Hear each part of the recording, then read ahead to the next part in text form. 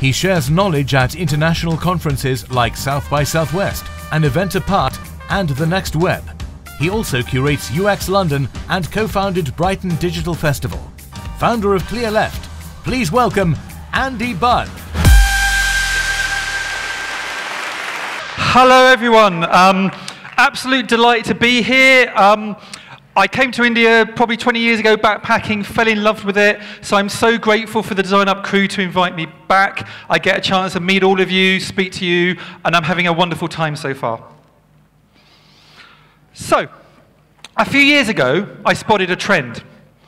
A lot of my friends had become, you know, they'd moved from being senior designers to maybe being design leads, heads of design, directors of design, and sometimes even heads of the whole company.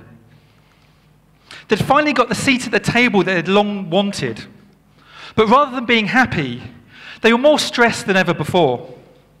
They'd hoped that somehow becoming a leader would solve all the problems of experience as an individual designer. When in fact, it actually just created a ton of new problems. Problems they've never had any experience dealing with or even training to deal with. They'd fallen for this sort of myth of leadership that all you need is power and authority to make something happen. However, it turns out that power and authority isn't enough, at least alone. Power may give you more opportunities to influence, but power alone doesn't cut it. Instead, you need to develop a whole new set of skills, which I'll be talking about later in the presentation today. As I talked to my friends over tea and cake, well, I am British, is what we do, um, a pattern became clear. It was as though I was having the same conversation over and over again, just with different people. Most of my friends had found themselves in companies that really valued design. In fact, that's why they've been hired. They've been hired to grow their design teams and grow the influence of design in their companies. That sounded great at the interview stage, but it was becoming really challenging. They were getting inundated by resumes, but few of the people applying really had the level of skill they were looking for. Most people were only sort of 18 months out of a general assembly course and already calling themselves a senior designer. So finding talent was really tough. When they did find the talent they needed, they only seemed to stick around for 18 months before, before moving on to the next opportunity. As a result, my friends weren't really being design leaders. They were really just being hiring managers. They were spending like 80% of the time recruiting. If they did manage to keep people around for longer than 18 months and build a good team, they were finding it difficult to execute. It seemed that doubling their team didn't double their output. In fact, sometimes it felt that doubling their team halved their output. The more people added, the slower and slower they got. This was especially frustrating for some of my friends that come from the agency world. It seemed like what they were used to delivering in three months would now take nine months or longer. Another common problem my friend were facing was a need to manage upwards. Um, it was all very well having a seat at the table, but often it felt like it was a high chair. Marketing was spending the big money, IT had the headcount, and the designers were expected to sit in the corner and play with the crayons while the big boys and girls talked. And it, it's, no, it's no wonder. So, IT have the budget. They've probably got 10 times the number of developers as you. Marketing have got multi-million pound um, budgets, and you might have a tenth of the, the resources. And so people tend to focus less on, on you and, and more on other people. And managing upward has consumed so much of their time, they were struggling to really look after their individual contributors. In many cases, they were first time design leader, so they're having to make everything up on their own from scratch. It was really tough. And as a result, I was having coffee with my friends. They were just telling me that maybe they'd made the wrong decision. Maybe being a design leader wasn't for them. Maybe they should go back to just being an individual designer where things were much easier. Now, I'm sure we've all felt this sense at some point in our careers that suddenly somebody would come along and sort of unmask us for the imposter we really were. Design leadership is still a relatively new activity. You know, we've had technologists and marketers on boards for as long as I can remember. But you know, like I say, we're making these up as we go along. So one of the big challenges we have to look at is look to our design, look to our sort of engineering partners for advice. Quick sort of show of hands. How many people in your room would consider yourself a design leader? Let's just have a quick show of hands. So maybe not that many, sort of 10%. And I say leader rather than manager because I think you can be a leader in your team without having the title. And actually, a lot of people lead just by their behavior, their attitude. So I have to admit that um, this talk is primarily for the design leaders in the room. You're my sort of first sort of like persona. Now, quick question. Who else here has a boss? I would imagine it's more of you. I'd imagine it's all of you, to be honest. So the rest of this talk is aimed at you, people that have a boss, because hopefully I'll be showing you what good management behavior looks like. And I'm sure all of your managers are, are, great managers and are exhibiting this behavior. But if they're not, this maybe give you a bit of ammunition to go back to them and help them get better at management. So I myself have been an accidental leader for about 14 years. I say accidental because I didn't grow up wanting to be a manager. Know, um, and I think a lot of design leaders sort of feel the same way. Um, I, I kind of um, realized about three years ago that because I'd been an accidental leader, I needed to get much, much better. So I started a Slack community of design leaders. There's now about 1,300 design leaders from around the world, a lot in Europe and America, but also in, in India, in Indonesia, and, and, and further afield. Um, and one of the reasons I did it, because I wanted to learn from other people. I also started a design leadership conference in the UK called Leading Design. Again, because I wanted to surround myself with leaders who were better than me. And I think one of the benefits of running Leading Design and this design sort of um, Slack channel is I've gotten to speak to probably hundreds of design leaders over the last few years. And so one of the things of this talk is kind of me pulling all the information I've learned together to help me become better. If you are one of the design leaders in the room that put their hands up and you want to join a community of other design leaders, maybe DM me or tweet me afterwards and we'd love to kind of have you join. I'm really keen to get more people from outside the kind of the Europe and, and North America bubble. So as I said, I never set out to be a design leader. I was kind of part of Generation X, the slacker generation. Um, so I never dreamed of becoming a manager until I accidentally woke up and found myself one. Sometimes I feel that I'm the, the very definition of something that's called the Peter Principle, the idea that people rise to the level of their own incompetence. And that might sound harsh, but I sort of designed my company that way. I designed my company to be the least good at everything in the company. And I'll sort of explain. When I started Clearleft, I hated the classic model of design leadership. The sort of superstar designer, sort of mirroring kind of Steve Jobs with the black turtleneck, who would surround themselves by young, psychopathic juniors that would just soak up their genius. These were the design gods that wanted to be the one unquestionable source of truth when it came to design. Because of that, they would avoid having anyone working near them that were a better designer than them. It was kind of very Mad Men. This was a traditional approach to kind of leadership, and of, often kind of depicted in this sort of classic kind of pyramid. Those high up in the organization were able to kind of scan the horizon because they were standing on everybody else's shoulders. But the weight of the leaders ended up crushing the people below them. And this was never a model that particularly attracted me. Instead, I found myself adopting a more supportive approach to design leadership, which I later learned was called servant leadership. In a book with the oddly titled um, Orbiting the Big Giant Hairball, the author talks about creative leadership not being like a pyramid, but more like being a giant fruit tree. The leaders are the roots and the trunks and the branches of the tree, providing support, nutrition, and stability. While your team are the fruits, which you raise up to the sunlight, carrying their weight on your shoulders. For me, this was a much better model of, of design leadership and what I'm seeing becoming more common. The idea that you hire people that are better than you and then create a space and environment for them to do the best work of their career, I think is the way to go. So, this is the model I try to adopt. You provide air cover, you provide ground support, you clear the barriers away, and create the space for your design team to run and do what you've hired them to do and prioritize learning and growth. So ultimately, I think our industry is a talent driven industry. And so, as design leaders and practitioners, we need to be talent scouts. We need to be constantly looking around for great people you can bring onto the team.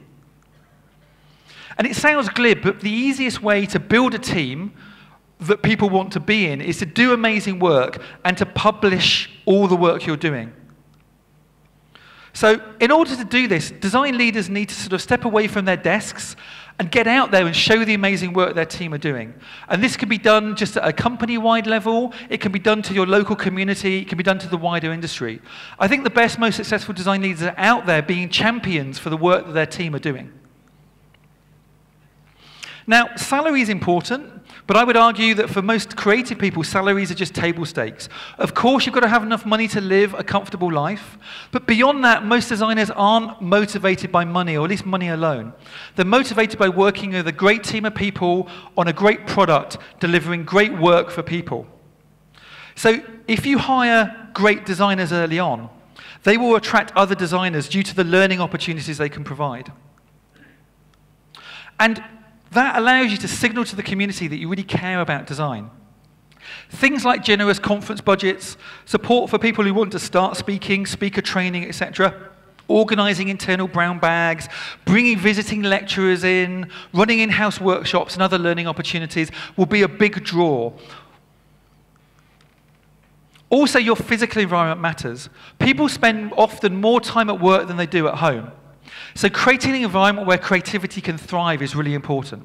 And I'm not talking about turning your office into like an adult playground as we see in maybe some of the Silicon Valley startups. It's not all slides and, and, and ping pong tables.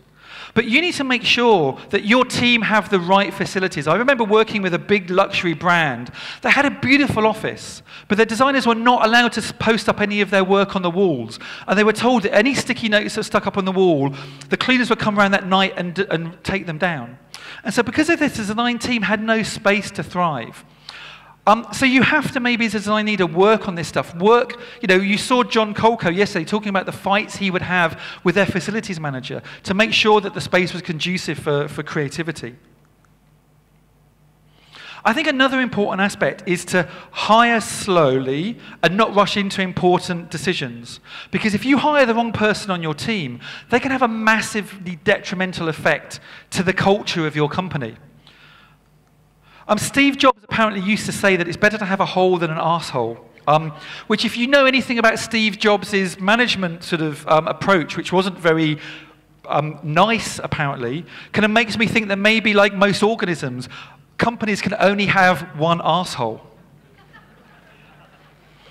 Um, you also need to make sure you've got a good balance of the kind of people you attract. I've had another number of friends who have like tried to hire the best designers in the world and then given them really, really small little bits of work to do. You're optimizing this single page, you're optimizing this button, you're optimizing this flow.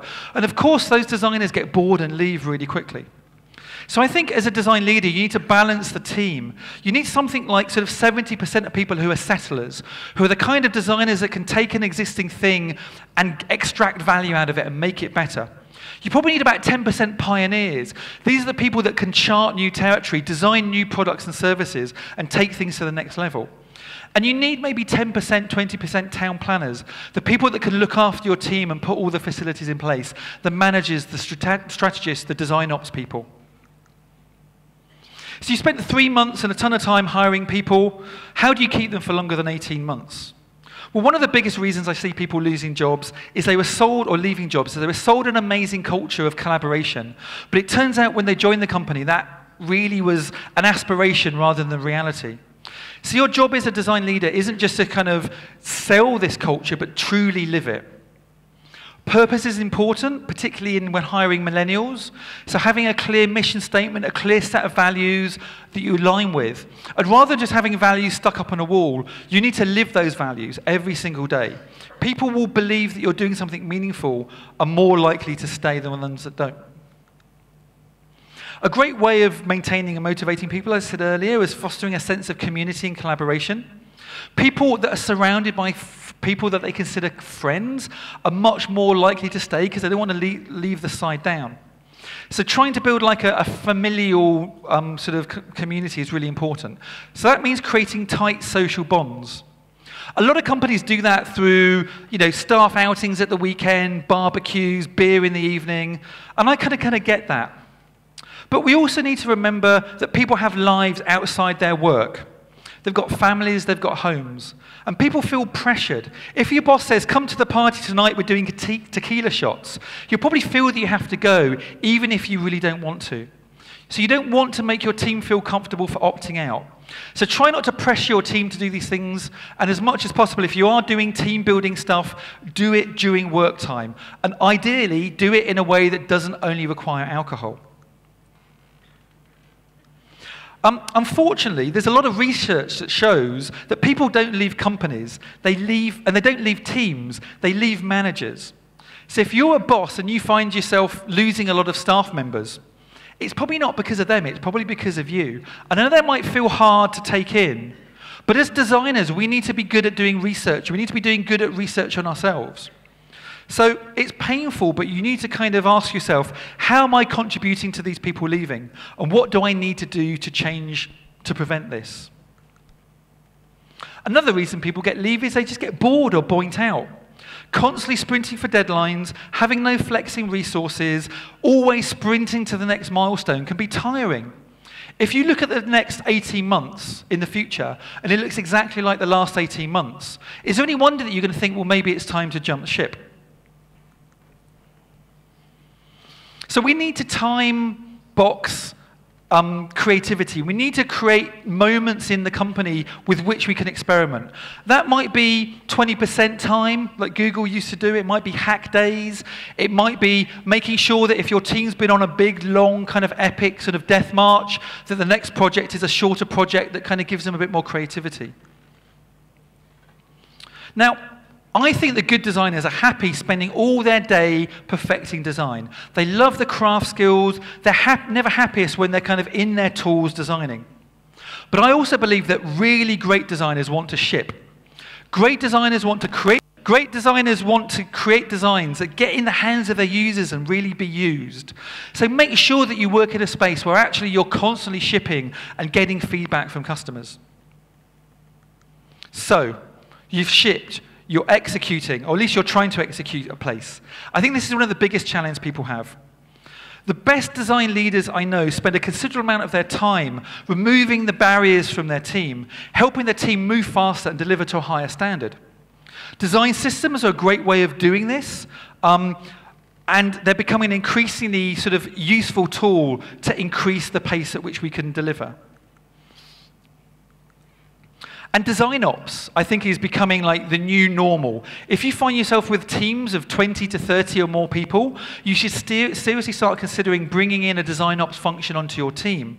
A role, an individual, a team that can look after the way your designers work, that can improve your hiring process, that can improve your onboarding process, can make your teams as efficient as possible.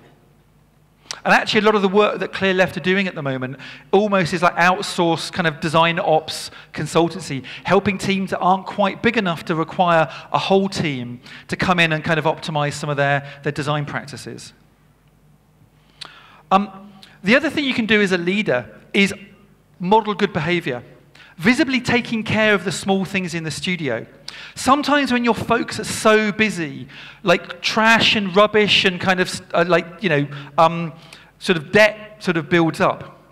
So sometimes my role as a design leader isn't to sit in the big boardroom and have important meetings. Sometimes my role as a design leader is just to walk around the studio, making sure everyone's feeling comfortable, making them tea if they need it. I am British. Changing the water bottles, changing the trash. One of the weird things is I think people think that like leaders are, are above this.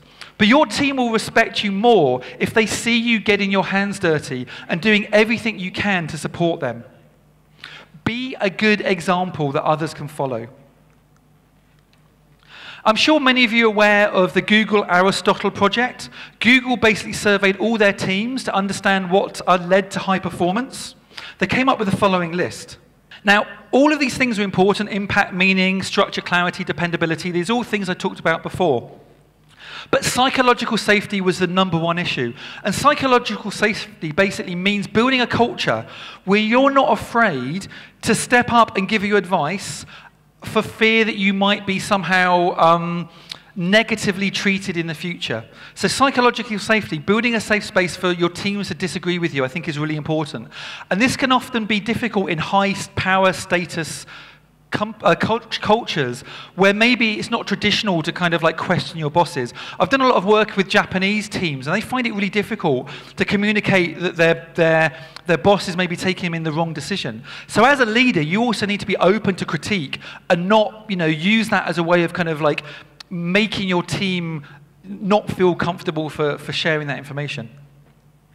Okay, so you've got a team, you're performing. In order to support your team, you need to make sure they have as much resources and support and structure in place.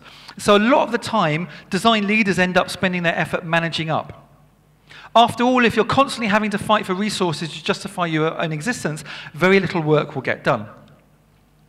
Um, as such, it's your job to promote the value of design around the organization. And this can be done in a dozen different ways. Like I say, lunch and learns, company wide sort of team mailing lists. I know companies that produce like a monthly little newspaper regular crit sessions. I know a lot of people that have teams that don't have many designers might have like a little design drop-in session where other teams can come and ask you design questions. Or I gave a workshop on design thinking the other day, maybe teaching your non-design partners a little bit more about design thinking could go a good way to promoting the value of design around your organization. Um, However, I think one of the challenges is designers can be very passionate individuals and they have a strong belief in the power of design and get frustrated when people don't immediately see that value. As a result, designers often get into battles they cannot win. So it's important to make sure as a design leader you know which battles are worth fighting and which battles are worth just letting step aside. And really good design leaders, rather than constantly fighting with battles, they will find the stakeholders in the organization that they can help influence and build collaborative relationships across silos. As I mentioned, one of the best ways I think of, of building capability is to build a design ops team and to weave design into the governance layer of your organization. So there's lots of companies that have like stated behaviors of how you can use finance but often the, the design industry is a bit of a wild west. And usually it's not the person at the top of the company that has the most design skill that gets to decide, but somebody that just has the most power. And so in GDS, Government Digital uh, Services in the UK, they built this amazing design sort of service standard manual that means that like um, no matter how important somebody is in the company, you have to abide by these sets of regulations. And so the lowliest designer can say to a government minister, we're not doing that because it's not in the design service standards manual. So building these tool sets can give you a lot more power to ensure quality and consistency. Now, those that protect their team, the great designers, protect their team from the crap that's coming down from above. And the bad sort of design leaders are the ones that pass it directly onto their teams. So I think the best leaders are the ones that basically are shit umbrellas to protect from the shit rather than shit funnels. And you want a team that knows that you will go to bat for them. You would even be willing to lose your job to do the right thing. So I think as design leaders, we need to step up and know when to do the right thing. Now, Leadership is undoubtedly hard, particularly managing up. So, the other thing I would recommend is get coaching. There are some amazing leadership coaches out there, people that will kind of do remote leadership coaching and training. And that will allow you, if you have kind of challenges with your team or your boss, rather than going to somebody in the company that maybe have a vested interest, you can go to an external advisor who can kind of provide you with some ideas about how to kind of get out of that situation. So, coaching is really important. Okay. We've managed up, lastly, managing down. I think a lot of career focused design leaders can get so focused on sort of sucking up to the bosses, giving their bosses a sense that everything is great. Well, actually, everything is chaos back in the ranch because they're not spending time looking after their team. So don't spend your whole time managing up. Um, you need to focus on looking after your individuals. And actually, general wisdom in management circles in design is you can really only manage four to six direct reports. So if you find yourself having a manager that has more than four to six direct reports, they're probably not giving you the time you need. And if you're a manager that has more than four or six direct reports, you're probably rushing around like a crazy person. So if you're in that situation, you need to get more managers, more heads, directors to support you. It's also worth noting that managing people is really hard, particularly if those people do give a shit. Designers are tough people to look after and have very, very high levels of expectations, so it can be really, really challenging. So you need to spend time with your team, learning what makes them tick, get into their sort of like daily lives. You should know, you know, their partners, their interests, you know, stuff outside. And one of the best ways of doing that is having regular one-on-ones. Um, so connect with people on a human level. Go out for coffee, eat lunch with them, and build this sort of like familial community. Sometimes you might need to give feedback, sometimes you might need to give negative feedback. Um, if you do so, you need to do this with kindness and ideally privately. I find a really great model for giving feedback is um, Kim Scott's book, Radical Candor. If you haven't got a copy of the book, I highly recommend it. Um, but there are lots of models for feedback. Um, also, I think one of the things to be aware of is if you are a design leader, you can't just have one model for managing people. For some people, you need to be a coach. For some people, you need to delegate. For some people, you need to be directive. It really depends on the kind of people you're leading, and it might mean that across a team, you might need to use all of those approaches for people at different levels. Also, non directive questioning is really important. I think a lot of leaders tell people what to do. I think the best leaders act as a coach and ask non directive questions. So, what do you think you should do? And help people lead themselves to the answers. And as I sort of touched on before, I think it's really important to praise your team. Um, sometimes the thing that, that stops you know, your team leading is just to be felt that they're um, appreciated. So I would always say to like praise publicly and critique privately. And make sure you've got a platform for growth. A lot of companies now are building these leveling charts. Really, really important for a designer to say, well, I'm here. In order to get to here, these are the behaviors that I, um, I need to get. Um, I see a lot of you taking pictures of this. This is a really old one. If you go to the Clearleft website, we've got our current um, design leveling sort of system up online, so you can go look at the blog. Alternatively, um, there's a really great book called Org Design for Design Orgs that also have an open source leveling system. The other thing I think is really important is to make sure that your team have accountability. Um, this accountability ladder is a really useful tool, and often if you find some of your teams just pointing fingers and blaming other people, it's probably because they have a low level of accountability. The best, most performant teams own the problem, find solutions, and get on with it. I like switching this around. So there's a thing called a leadership ladder, which makes it more of a positive spin. So you have a team, and what you ideally want people to be coming to you is saying, I've been doing this, I've done this, I intend to do this. If people are coming to you and saying, Tell me what to do, I think, they probably don't have the right level of accountability. So, anyway, those are my five key concepts finding talent, retaining talent, executing at pace, managing up, and managing down. I've tried to share my personal experiences. But I don't believe there's one size fits all process for creative leadership. Instead, it's a mix of common wisdom and tactics. And a lot of what I've said today will seem really obvious, and that's because it's true. It is obvious. However, it's amazing how few people are actually doing this stuff effectively. So just because it sounds obvious doesn't mean that you shouldn't be trying to improve on a daily basis.